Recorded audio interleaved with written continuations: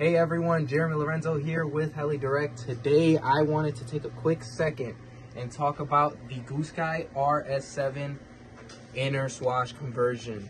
Now, this is a conversation that's been going around for quite a bit, and today I just want to give you guys my personal opinions on it and what, you know, to show. So on my right hand side here, I have a fully original RS7. This RS7 when you build your kit, this is exactly how it would look similar as far as frame and everything goes. uh, your equipment, you choose however you would like, but this is a fully original. This has the original inner swash that we would be talking about today. As you guys can see, it's a little angled down towards the ball right down there, if you guys can see that. And so this RS7 is completely original. This is how you get yours out of the box. I'm running mine with the Zor 700s, which match perfectly with the model. Torque servos, CGY 760R, which I absolutely adore. X Nova motor, 4535 520 XTS X Nova motor. And the one that I want to talk about is this one right over here also. This is, of course, a Goosky R7 almost identical to the all original one. I have a CGY, the same BLS torque servos.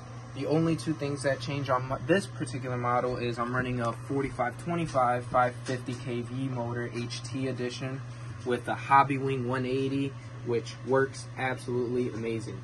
And I, I don't know if I mentioned it, a CGY 760R and so this one on my left hand side, this model particular, has the one-to-one swash conversion kit.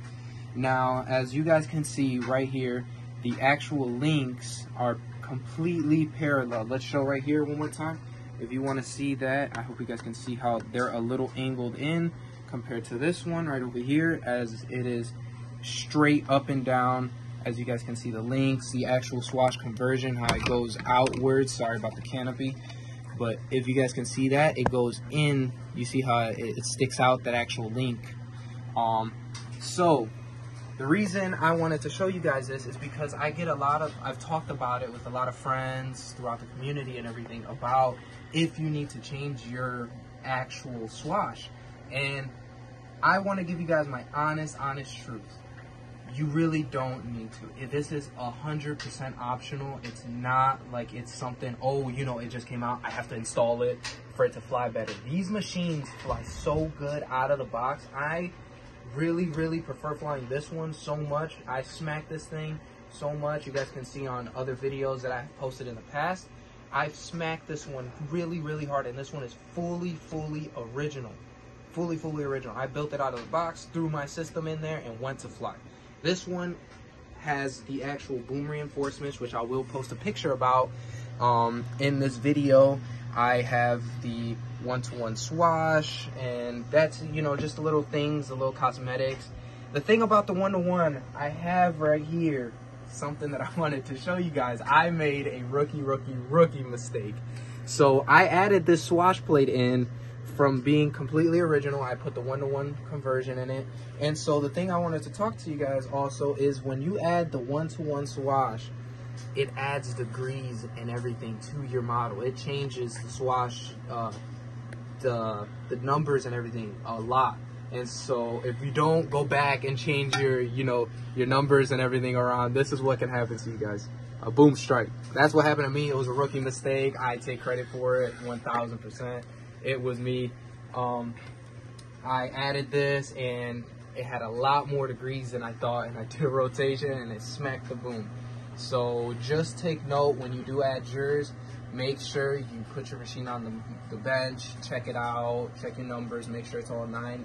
On Futaba it works perfect with nine degrees side cyclic and just make sure that your machine is ready to go when you add your nine, uh, the one to one.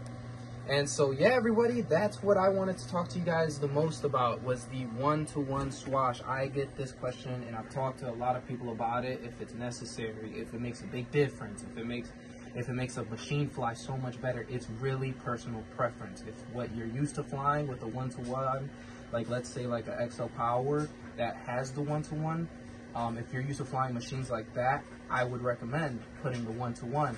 But if you're just a you know a random normal person that just wants to fly their machine out of the box, don't even work on it, you can 1000% smack this machine dead stock out of the box, no touching it at all. And yeah, it's not necessary, in my opinion. Once again, everybody's entitled to opinions. This is my opinion. I don't think that it really needs it. But if you want to add it, you do feel a couple different things in the side cyclic. And yeah, that is what I wanted to talk to you guys about today. Thank you everyone for sitting around and watching. My name is Jeremy Lorenzo from Heli Direct. Peace out.